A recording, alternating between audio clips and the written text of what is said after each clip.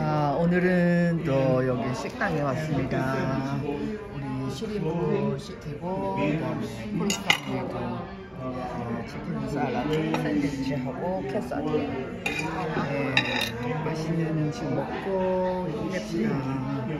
화이팅. 미국 분들도 있고 지금 오늘은 좀 많이 있네요.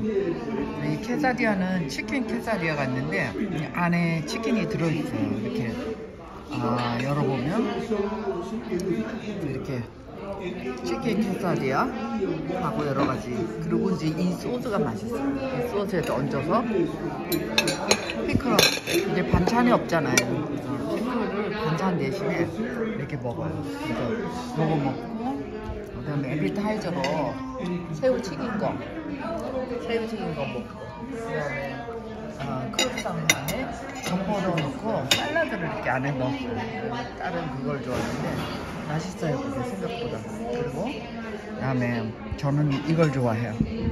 항상 우리는 이거 이거 이렇게 시켜요. 네, 먹고 힘냅시다. 화이팅